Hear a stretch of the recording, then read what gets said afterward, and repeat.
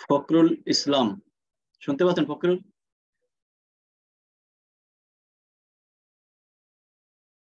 সাইফুল ইসলাম তো আছে পারফেক্টলি ব্যানমেল থেকে মনে হয়। আচ্ছা সাইফুল ইসলাম হ্যাঁ। সাইফুল ইসলাম তো পরীক্ষা দিচ্ছেন মনে হয় নাকি? না না স্যার আমি এখনও পরীক্ষা দেই নাই। আমি আমার একটু আপনি কি সময় আপনি কি ব্যস্ততার কারণে দিচ্ছেন না নাকি নার্ভাস? না না নার্ভাস না আমি অ্যাকচুয়ালি আমার ওই যে বাজেটিং টাইম যাচ্ছে তো এই যে জাস্ট আমি বাসায় হ্যাঁ। ঢুকলাম হ্যাঁ, প্রতিদিনই এরকম হচ্ছে দশটা করে আসতেছি আচ্ছা হ্যাঁ যে কারণে এই হয়তো দুই চার দিনের আমাদের গেস্ট অলরেডি অন করছে হ্যালো ইসাম Dabur how are you your microphone is off maybe Yeah, can you hear me now? Yeah, oh, it's okay. So Yeah. we have actually around 40 plus uh, participants. They will join. Uh, they are uh, now joining also. And now we are actually uh, offering this program in Bangladesh. You know, here uh, today is working day. So maximum, uh, you know, people are working till uh, 8 to 10 p.m. in Bangladesh. Yes. So uh, they are trying to join. Even you know they are passing a long time in their way of uh, their journey. That means uh, office to home. You know, on the way they are uh, spending a lot of time. So some of them also uh, joining, and now already uh, 20 join, 21, including we actually. So Okay. I, I think you can, sir, uh, say something else, then you can start if you. Sure. Yeah. Problem. Uh, first of all, thank you very much for giving me this opportunity. And uh, I would like to send my warm greetings from Canada. Um, it's starting to get cold now here in Canada. I know it is still warm in Bangladesh. Um, also, I apologize for the time difference. I know that 10 o'clock might be a little too late for you guys, but it is still 12 noon here. So would you like me to start my presentation? Uh, you can, sir. Uh, so now you can, uh, you will start or after two minutes. Okay, okay. So we can wait for a couple of minutes again. Um, like frankly speaking, my presentation will be um, about how uh, traffic safety may have an impact on supply chain. Okay, so uh, basically, I'm not an expert in supply chain. I'm an expert in traffic safety and all design. Uh, but I know that um, traffic safety has a lot of impact on uh, supply chain because, as you will see in my first slide, uh, supply chain heavily depends on uh, truck transportation. Uh, trucks are needed to um, transport goods to the factory, uh, transport like uh, uh, you know manufacturing supplies, and then uh, trucks are also needed to take the products from the factory to the distribution centers, and then from the distribution centers to the retailers where the consumers can go and buy those goods. So uh, truck transportation is uh, very important for the supply chain. Uh, I think we can start the presentation now. Can we? Yes, sir. Okay. So uh, if I share my screen, can you guys see my screen now? Can you see Yes. my PowerPoint? Yes, sir. yes, Okay. yes, yes, yes. Very good. Okay. So as I said here, truck, uh, truck transportation is an important link in the Ah. supply chain.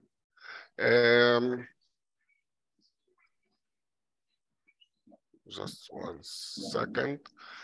So this is like the typical diagram of supply chain. And as you can see here, trucks are needed to transport the supplies to the uh, manufacturing facility. And then they are also needed to transport supplies from the manufacturing facility to the distribution center and from the distribution centers to the retailers where the consumers can go and buy the goods from those retailers. Um, with traffic collisions, we have several impacts uh, on the trucking industry, loss of lives, loss of goods, loss of investments, delays, etc. So if there's a traffic accident, the company is losing its goods, the company is losing its investment in terms of the tax owned by the company. the driver may die in the accident, other employees of the company may die in the accident. So there are always a negative impact caused by traffic safety on the supply chain. the sad fact here is that according to the World Health Organization, uh, more than 1.3 million people lose their lives every year in traffic collisions. So I'm not talking about uh, like total number of people. No, this is an annual number of people. So every year, 1.35 million people uh, die in traffic collisions.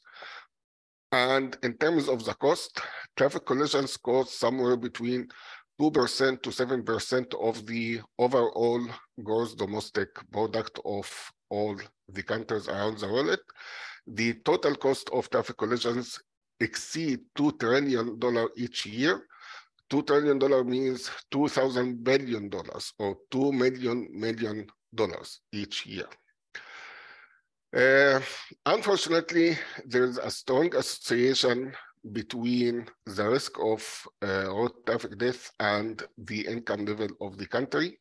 Uh, according to the WHO, the World Health Organization, it was found that low-income countries, 27.5 uh, deaths per 100,000 uh, people. So every 100,000 people, uh, it is expected that 27.5 of them will die in traffic accidents. In high income country, the rate is much, much smaller. Almost one third of this number, or less than one third of this number. It is only 8.3 deaths per 100,000 uh, capital. This means that the distribution of the 1.35 million people who die in traffic accident is not evenly distributed throughout the world, Unfortunately, they are more concentrated in uh, low-income countries. This is a diagram that shows road traffic death for every 100,000 capita or every 100,000 people. Uh, as you can see here, the highest rates are in Africa, followed by Southeast Asia. Uh, in Africa, like the dark green here is the rate in uh, 2008 and uh, 2016, sorry, uh, 2013, sorry, and the uh, light green is the rate in 2016. So as you can see here, in Africa, it is around 26 persons for every 100,000 capita. In Southeast Asia, it is around 20 persons for each 100,000 capita. But if you go to Europe, it is only less than 10 persons for every 100,000 capita. In terms of uh, number of countries where road deaths have changed between uh, 2013 and 2016, in low-income countries, there were 27 countries that where the number of road deaths increased between 2013 and 2016, as compared to high-income countries where only 17 countries where the road death uh, numbers increased, and 25 countries the road death numbers decreased. Actually, overall, the world the number of deaths uh, slightly increased because in low in low income countries they sharply increase and in high income countries they decrease so they even each other. Uh, the world health organization identified five pillars for road safety or five common uh, problems related to safety. Number one, speeding, drinking, driving, uh, like driving under the influence of alcohol or uh, drugs. Uh, seatbelt, helmet for bicycle and motorcycle users, and child restraints for uh, children. Uh, this is the population covered by laws that enforce each of the five uh, pillars uh, from the roughly 6 billion people who live on this earth, around 50% of them or 3 billion people are covered by laws that uh, enforce speed limits. Uh, only a little bit more than 2 billion people, which is less than 30% of the population, are covered by laws that prohibit drunk driving. Uh, a large percentage of population, maybe 90% are covered by laws that enforce seatbelt. Um, almost 50% of the population is covered by laws that enforce the use of helmet for bicycle and motorcycle riders. And as for child restraint, the number is very, very low. Less than 10% of the population is covered by laws that enforce child restraints. So if you want to analyze traffic collisions, uh, traffic collisions usually have several categories. In terms of the number of vehicles, it could be a single vehicle collision, two vehicle collision, or multi-vehicle collision. In terms of injury severity, the collision may result in no injury, and in this case, we call it a PDO, property damage only, or possible injury, or evident injury, or life-changing injury. This is an injury that causes impairment, or fatal injury. This is an injury that causes a loss of life.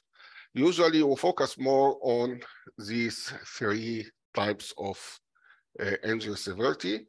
In terms of collision type, it could be an angle collision, head-on collision, side-side collision, or other types of collision, or it could be collisions involving pedestrians or collisions uh, involving uh, bicycles or motorcycles.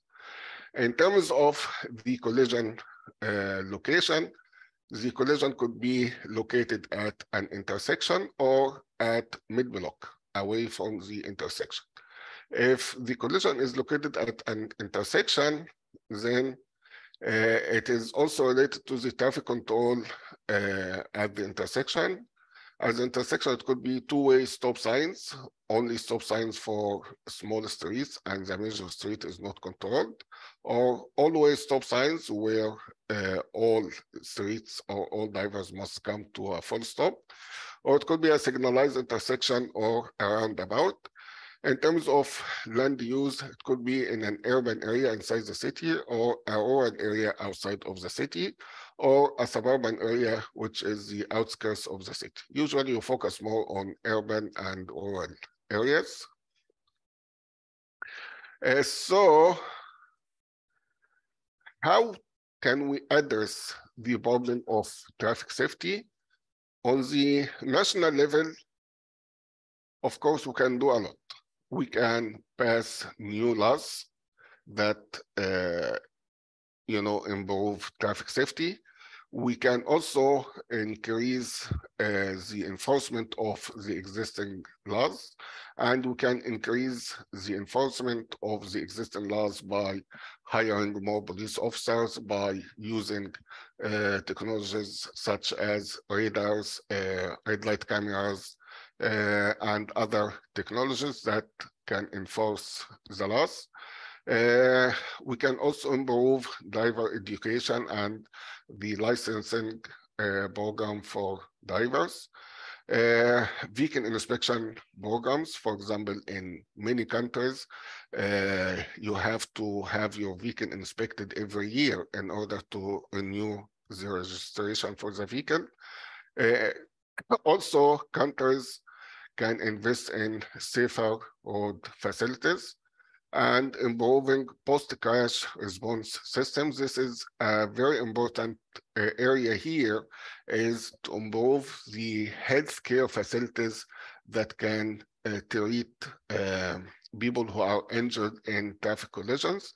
It was found that uh, most people who are injured in traffic collisions uh, can die if not treated within uh, 30 to 60 minutes after the collision. So uh, you, the country must have uh, good medical facilities and good ambulance system that can uh, quickly take the injured persons to uh, the medical facilities in order to receive the medical attention needed within uh, the shortest time uh, before those people lose their lives. Uh, this is if we are talking about the national level. If you want to talk about site-specific level, this means that uh, you live in a city or you are responsible for a city or responsible for a region or responsible for a province or a state or even a com complete country. And you want to identify the more problematic locations. In this case, you can uh, follow these steps, which I will cover in more details in a few seconds. The first is road safety audit. Uh, second is network screening. Third is in-service road safety review. What do you mean by each of them? For the first one, the road safety audit, this is an audit that is usually conducted uh, after the completion of any road facility and before the road facility goes in service. So um, the country builds a new highway or improves an existing highway or repaves an existing highway or makes major rehabilitation for an existing highway. Before this highway is open to the public, a group of experts must go to that highway, and inspect it, make a complete audit for the highway to make sure that it meets all the safety standards. And if it does not meet the required safety standards,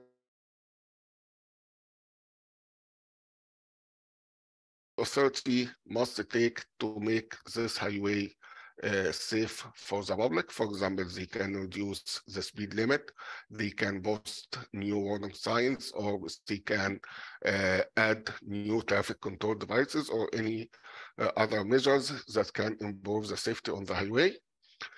Then the second stage is network screening. Network screening means that you collect collision data from all sites from all the intersections and all the roads. And every year or every three years or every five years, you analyze the data and you see where are the most problematic uh, locations so that you can give more attention to those problematic locations. And the third step is the in-service road safety review. And this comes after identifying the problematic location. You can now go to that particular location, have a closer look at it, and uh, see what can cause the uh, problems at that particular location. So before we move to explain all these steps, I'm showing you this um, screen from the United Nations, and these are the five pillars for road safety, which are a little bit different from the pillars that were suggested by um, the World Health Organization. So, for example, uh, World Health Organization identified speed, drink driving, seatbelt, helmet, and child restraints. These are very uh, specific. For the United Nations, they talk in uh, general. So first, it is road safety management, meaning that uh, the country must uh, collect and analyze uh, data related to road safety uh, so that they can identify problematic locations. Pillar number two, safer, safer vehicles, make the vehicles safer uh, by inspection, by uh, improving the manufacturing standards and so on. Pillar number three, uh, safer road users by driver education, license system, and so on. Pillar number four, post-crash response that we spoke about before. Uh, pillar number five, safer driving environment, which includes safer roads and safer uh, traffic control devices and safer uh, vehicles and so on. So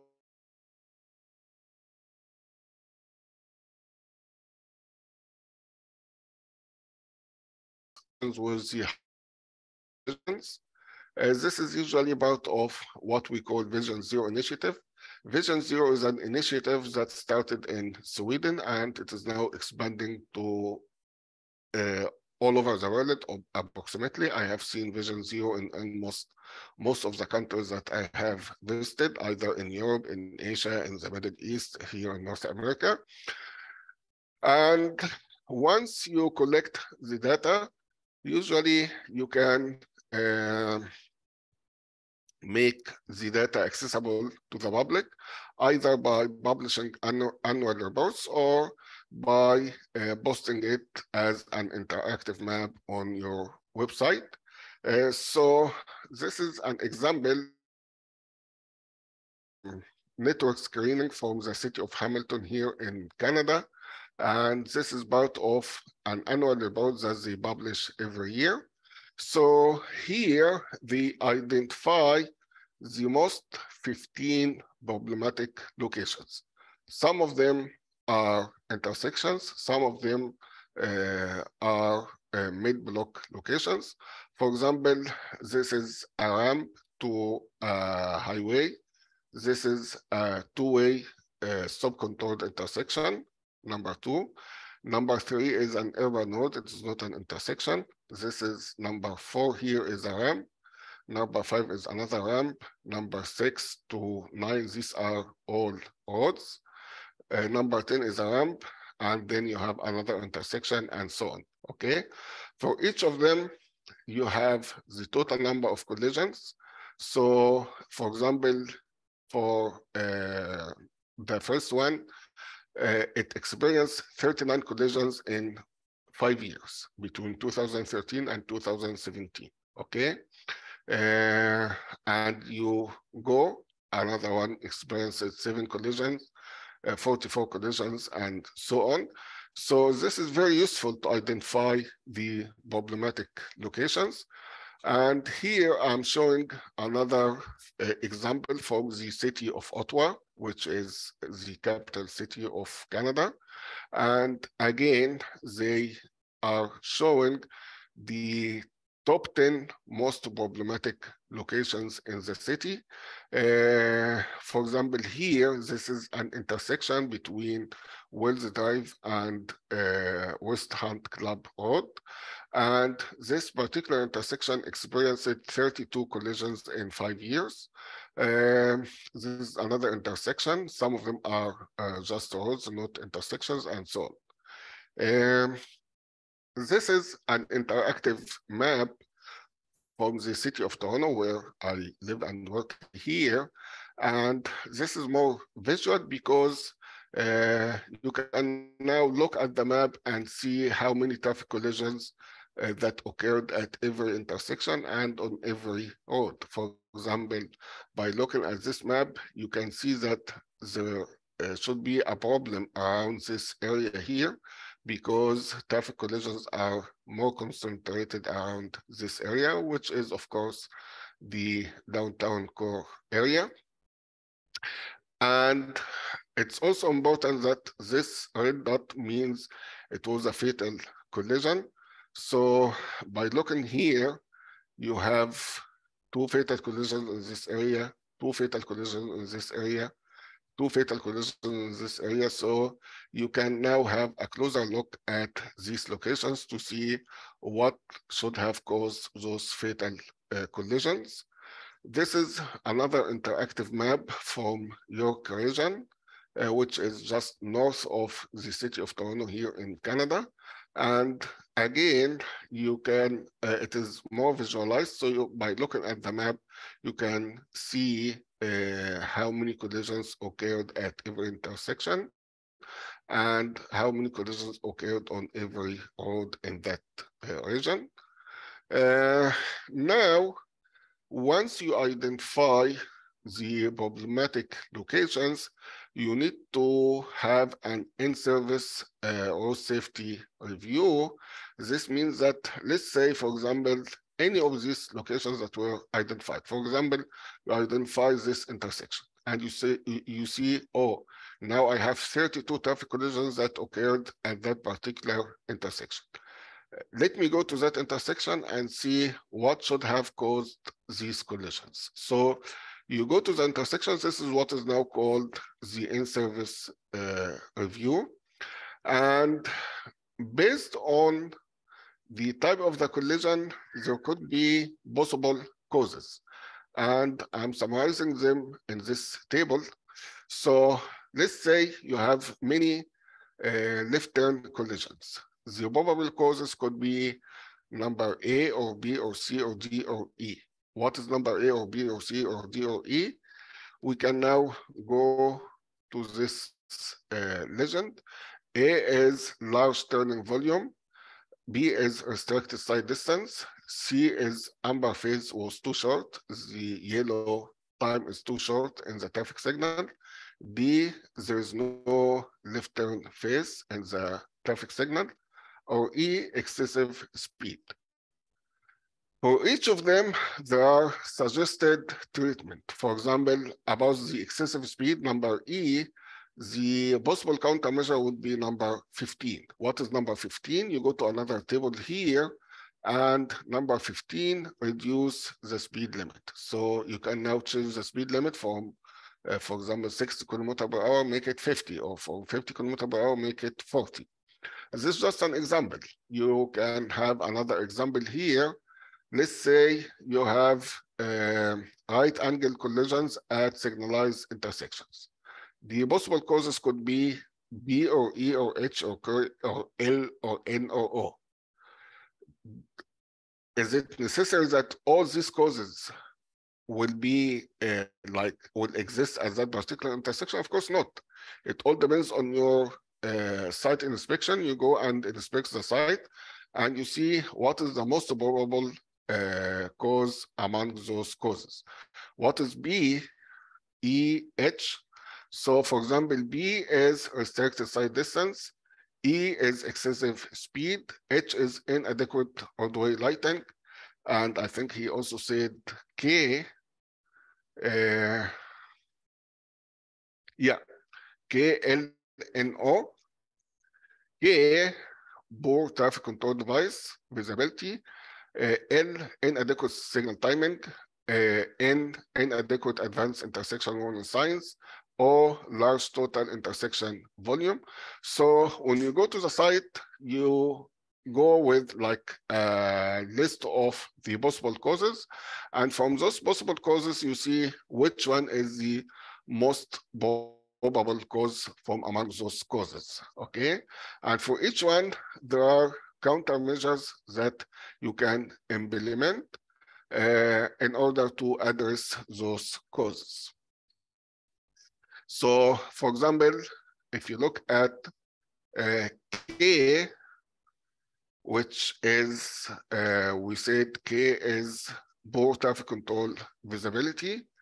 Uh, the countermeasures for it could be uh, 14 or 27 or 32.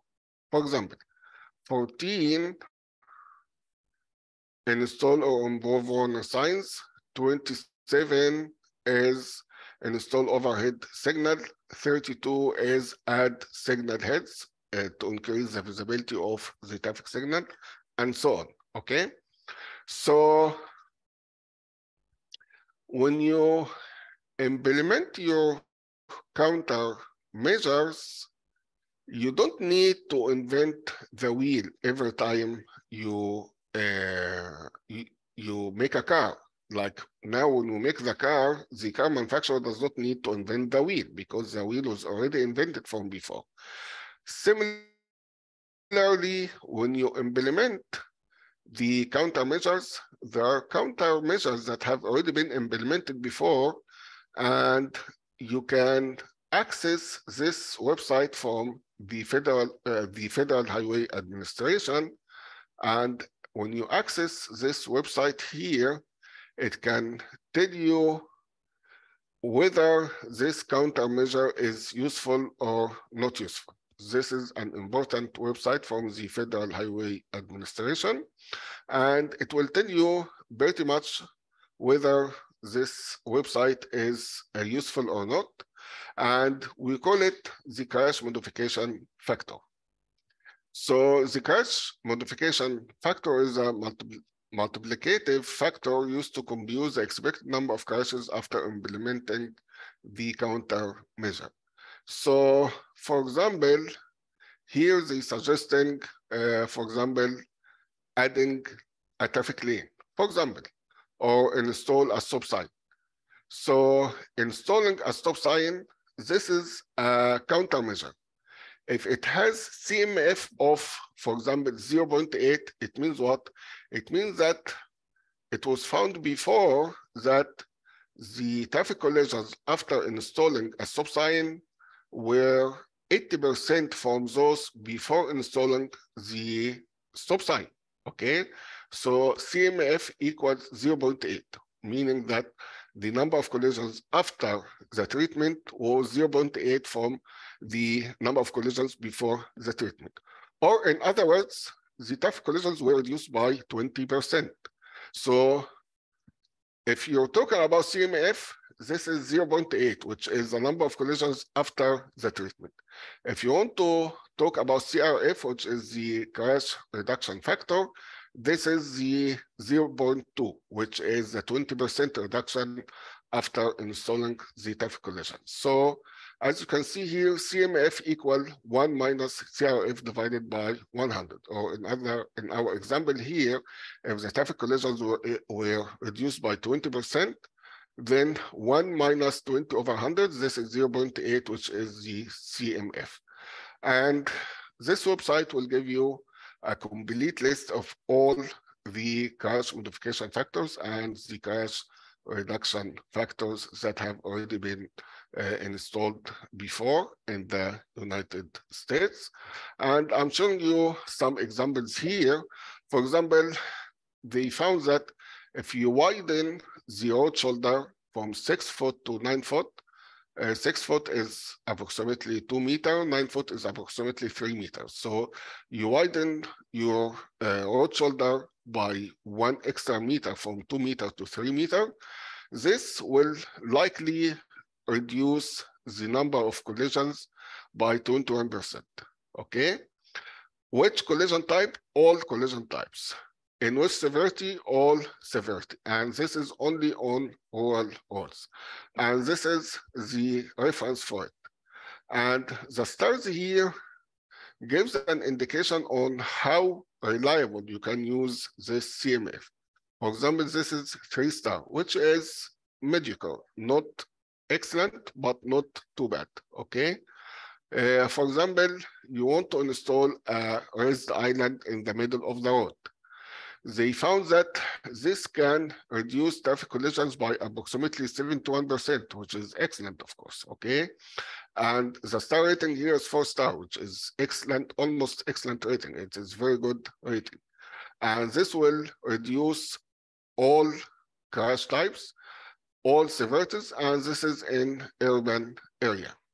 And this is the reference for uh, this crash modification factor and so on, okay?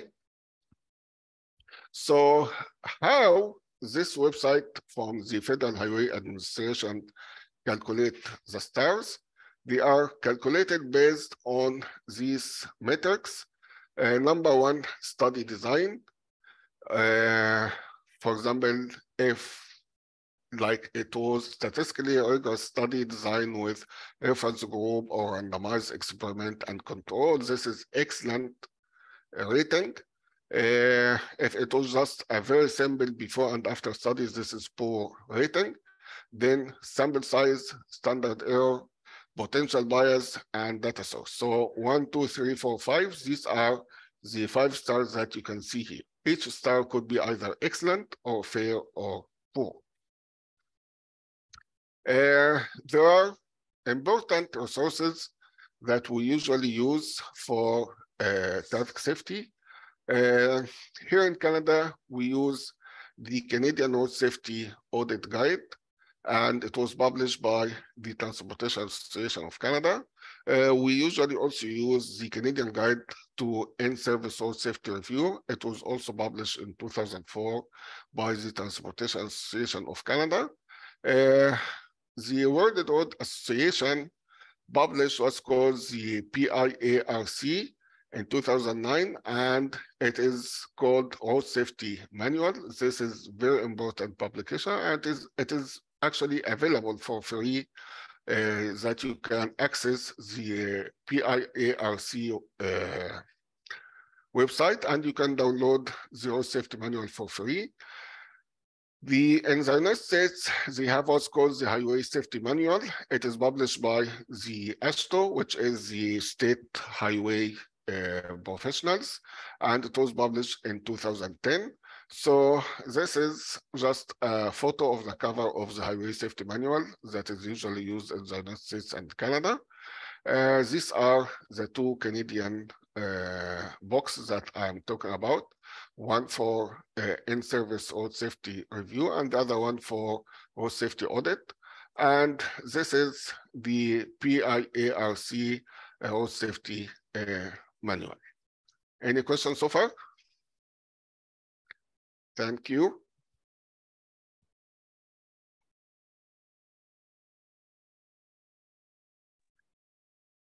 Audiences, any question from your side? Any questions here?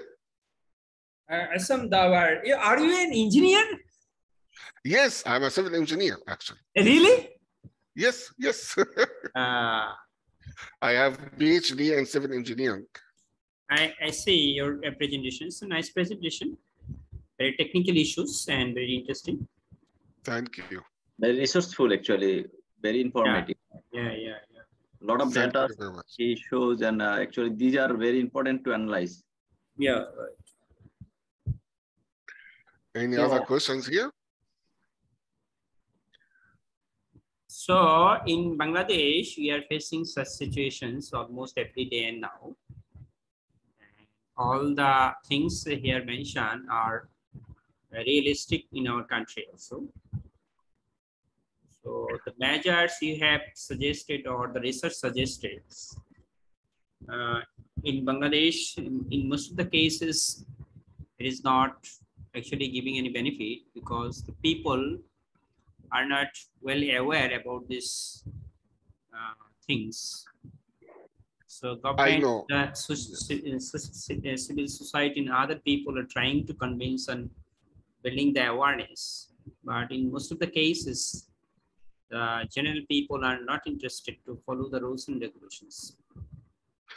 I know and I understand this. Actually, like Do I you have any any particular suggestions for the country like Bangladesh, where the uh, population density is very high? I know. Actually, I'm very familiar with this. I was born in Egypt, and traffic safety in Egypt uh, is not the best also. And I worked for 10 years in uh, Abu Dhabi in the United Arab Emirates. And uh, traffic safety is not the best, but it is not as bad as in Egypt. I have visited several countries around the world, and I have seen traffic safety in Indonesia, in Malaysia. Uh, unfortunately, I never been to Bangladesh before, but I have seen uh, Thailand. I have uh, traveled to Europe, to Central uh, America, and I can see the very big variation in terms of traffic safety. And I fully understand what you mean here, that uh, sometimes because of the high density of population, uh, it is very hard to maintain a good quality of traffic safety. And this is why I added this photo here. I think this photo is from Southeast Asia.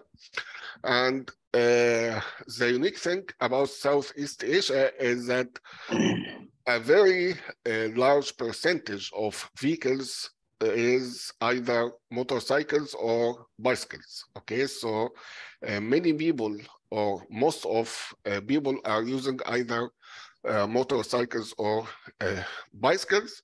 And the problem here is that any collision involving a motorcycle or, bi or a bicycle is almost a fatal collision because they are not protected by anything. Okay, so if a motorcycle or a bicycle is hit by a vehicle, it is a very, very bad injury, of course. Okay, I understand that uh, traffic safety is not easy. And this is why, if you realize in my presentation, uh, I'm referring to, um, you know, international organizations like the World Health Organization or the United Nations, because traffic safety is a common problem and it is a worldwide uh, problem that needs uh, approach from uh, the government, the media, the users, vehicle manufacturers, uh, the education system,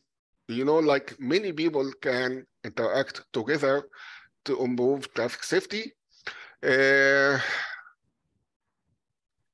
from what I have seen previously in either Egypt or the United Arab Emirates, is that they usually started from law enforcement. Uh, law enforcement. So if they start by having more uh, strict driving rules and they try to apply those uh, driving rules and those driving rules must be reasonable. Like you cannot have a country like bangladesh where you have very high population the roads are extremely you know uh, uh, busy and in, in a case like this you don't need to enforce speed limit because speeds are already low, okay?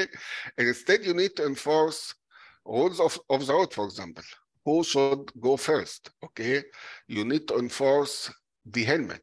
Like uh, I have seen in uh, countries similar to Bangladesh when uh, they started to enforce laws that all uh, riders of bicycles and motorcycles must wear a helmet, uh, traffic safety have significantly improved. So this is a solution that we can approach. Uh, enforcing seatbelt, enforcing, uh, you know, the prohibition of uh, driving under the influence of alcohol.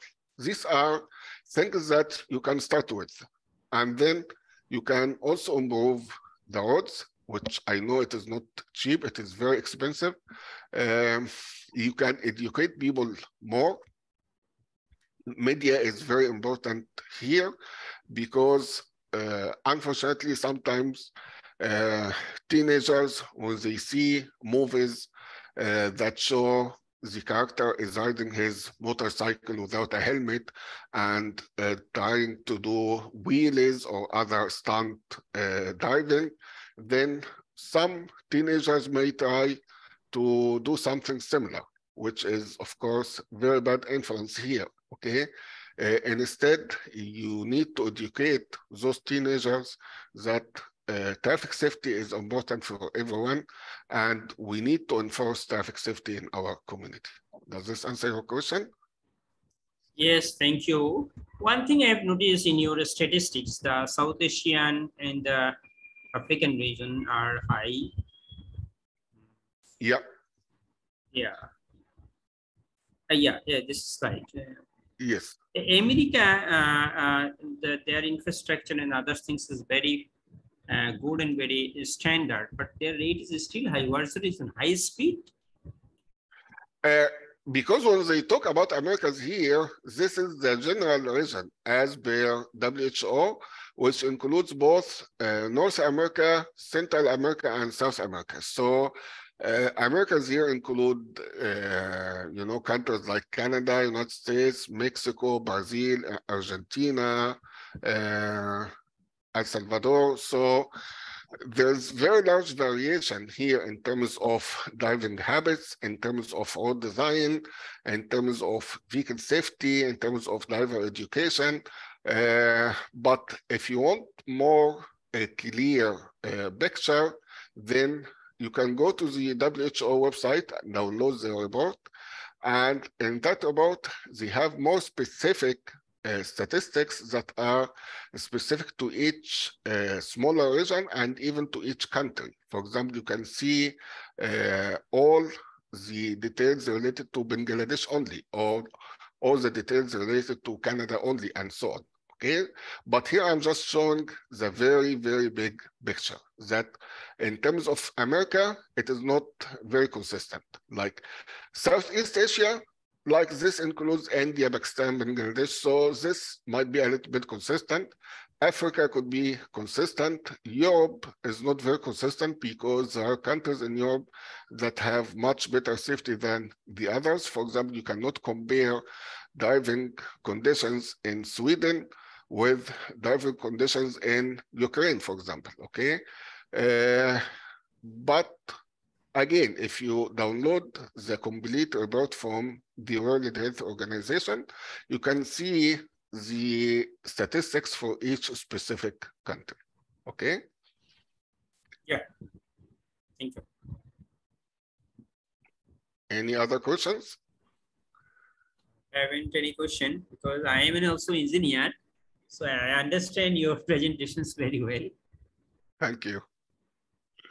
Thank you very much. You're muted, doctor. Doctor, you are muted. I can't hear you. You, uh, your, your PhD in transportation. So we need uh, a lecture from you, transportation in supply chain. If you have any, then it will be very good opportunity for our learners to learn from you because uh, transportation is a very uh, important issue. Actually, this is very important factor in uh, supply chain. It would be my pleasure, of course, like I can prepare a presentation on, I can prepare a presentation on traffic congestion and how it is related to supply chain. Is this a good topic? Yeah.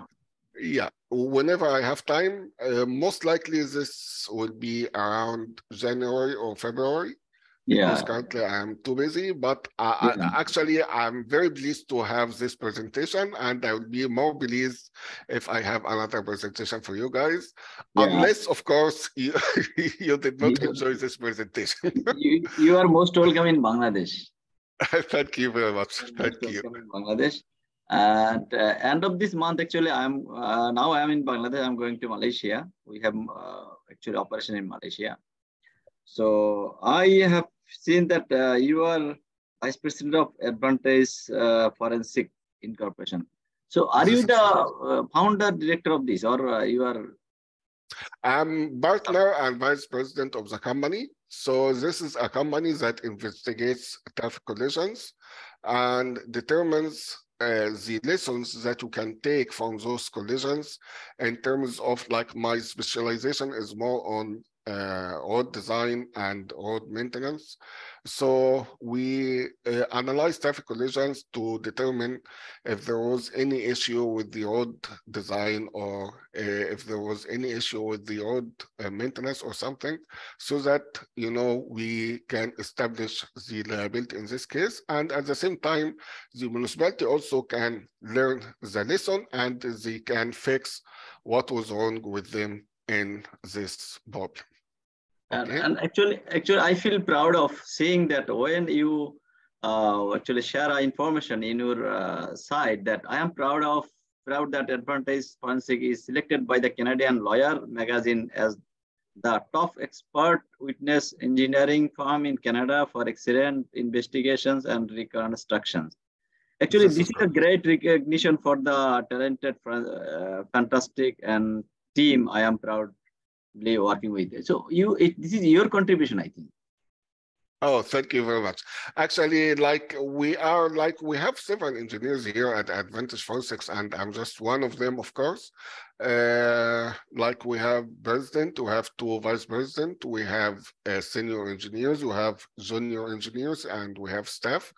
Uh, we also have, you know, sub consultants, and I'm proud of the work that we are doing because I feel that, you know, we can uh, improve safety and we can uh, serve the justice uh, in relation to traffic uh, collisions.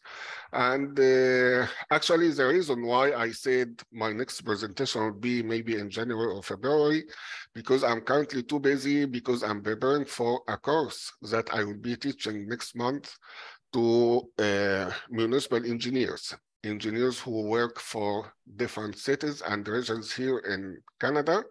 Uh, they will attend this course where I can teach them about uh, road design and traffic safety. Okay, so uh, after I teach this course and then there will come the winter holidays. After this, of course, we can arrange for another presentation about yeah. how traffic congestion is related to supply chain. Thank you, Prof. Thank you very much for your actually good presentation today. I am very actually, uh, I enjoyed it and I got it very good from you that you have clarified whole thing very well. So nice Thank to you meet much. you today. And next time we, we are going to meet you again in uh, January. But before that, if you can manage time, that would be actually luck for us. You know, we are enjoying your lesson very much. Uh, you did actually your master's and PhD in Ryerson University, and now you are the, the uh, professor in this university. So you are busy in the advantage forensic, but before, beside this, you are also teaching. So this is very good. Yeah. Yes, this is true. Yeah, I'm also teaching at Ryerson University. Uh, currently, I'm not teaching full courses. I'm giving uh, like uh, lectures, like um, for example, this year I'm giving only two lectures, but uh, the more important is that I'm uh, supervising, uh, you know, graduating students when they do their graduation uh, project. So I also supervise uh, students and their what we call capstone or graduation uh, project. Okay, okay, sir. Thank you very much. Thank, Thank you. you. very much. Yeah. Good night. Thanks. Good night. Bye-bye. Bye. Thank you so much.